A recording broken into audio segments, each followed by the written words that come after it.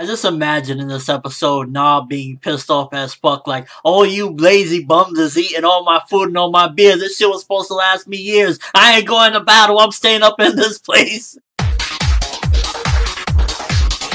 Definitely gotta say I felt as though this episode was more so character driven. For the most part, the plot it kind of just stood still. They didn't really, you know, story didn't really progress forward to the battles or anything like that. It was more so just diving into the characters and how they're feeling before this battle approaches because they're literally 10 minutes away at the end of the episode from them storming the castle and everything going crazy. Probably my favorite bit, yet again, it has to do with the king, and that's where he brings in Neferpitou. And to be honest with you, I thought he was going to behead her straight up. When he asked her, did you know that that Komugi was being attacked and she said, yeah, I was like, yo, the king is about to fucking rip her head off. And I guess he valued more the fact that she, you know, he can command her and she'll be able to protect Komugi as well instead of killing her right then and there because it's like, the king is totally showing that he is digging Komugi. He's totally, he's having an identity crisis right now. He is torn between being this fearless, you know, just not giving a fuck ant to, damn, I have a heart. And it was kind of like, thrown in there as well when they were saying when Knuckle was saying, you know, everyone has a heart. Yeah, the king does have a heart as well, and it's being shown that right now his heart is feeling for Komugi, and he really does care for her, whether it's love or friendship, whatever it may be. He truly cares for her, and it was definitely displayed there. But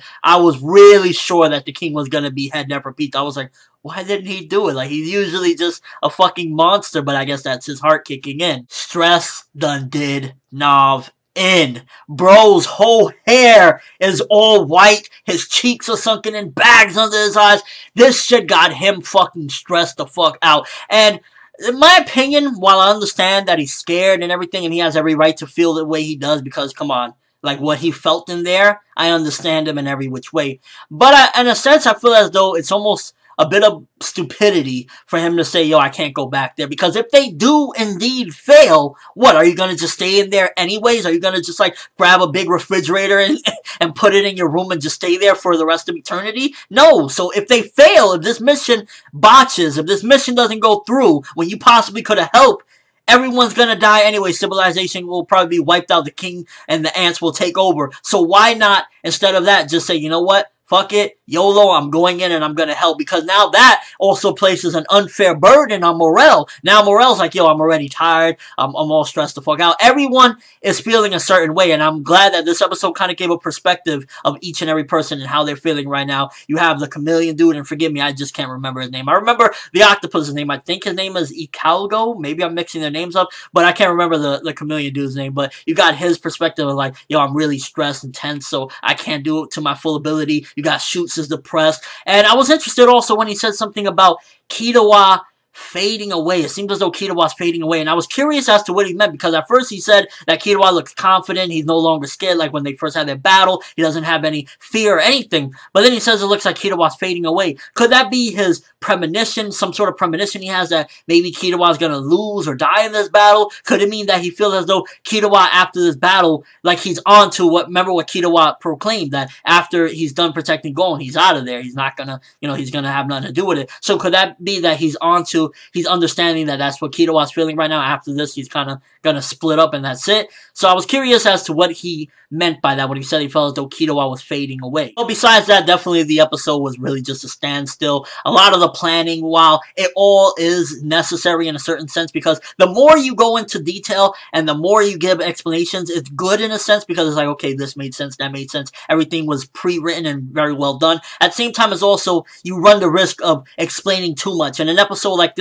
the perspective of each and every character and giving more so of what they're feeling, it was good and it was like, okay, this was a character-driven episode episode. But then at the same time, it was like all the planning was, for me personally, just boring and I just didn't really care for it. So it was like good in a sense of, yeah, I love getting the perspective of how the King's feeling, how everyone is feeling in this episode, down to Morel, to Nob, everyone. But the plot kind of just, you know, the story is just that stood still at the moment. And it was just like, okay, at the end of the episode, 10 minutes to go, and they were all ready to, you know, go out and storm the castle. So it was like, in a sense, decent episode. I enjoyed getting the perspective of everyone and seeing where the king is heading. And it's like, fuck, man. And in a perfect world, I would like to see the king, Meruem, which I hope he finally realizes his name. I hope he doesn't die not knowing his name. And by the way, people are saying, how do you know the name? Obviously, his name was said at the very end of the Queen's life. His name is Meruem. Hello? But in a perfect world, I would love to see him and Komugi go off into the distance, never to be seen or heard from again. That would be, in a perfect world, what I would love to see. But I doubt that's going to happen. I think it's going to be full-on blown war. I mean, you got, uh, what, 5 million people are outside of the castle, marching towards the castle, brainless because of Pouf's ability. So shit is going to get crazy next episode. I, I'm actually just thinking about it during this review. I was like, yo, we're finally heading into this fucking crazy war zone and it's going to be madness and I can't wait. But I really appreciated just the downtime of this episode. I'm going to give this one six and a half out of 10. It was slightly above fine, balancing right there between fine and good. I really just enjoyed the perspective, but definitely could have used more uh, advancement and as far as the story goes a little bit more substance to different things besides just the planning. But let me know what you guys think first of all. What did he mean? What did Shoots mean when he said he felt as though Killua was fading away? What what like did he mean that in a literal sense? I doubt that. Did he mean it in a figuratively? In what way though? And also how much food, beer, and drinks is Nob gonna need to survive the rest of eternity in that room because I don't think dude is heading out to that war. No matter how much he cares for Palm and anyone else, he's not leaving that motherfucking room. Hikikomori for life, recluse. And just your overall thoughts of the episode. Did you enjoy getting the perspective of each and every character before this war pops up? Because we're an episode away, it seems as though, and I'm excited. That's all I have for this review. Thanks for watching. Hope you enjoyed. Thumbs up if you can't wait to see how the hell this battle is going to turn out. I can't wait to see when Netero shows up, how the king is going to react, what's going to happen with Komugi. So many questions, so many answers I need. Can't wait. But I'm ForneverWorld, and as always, people, have an awesome day.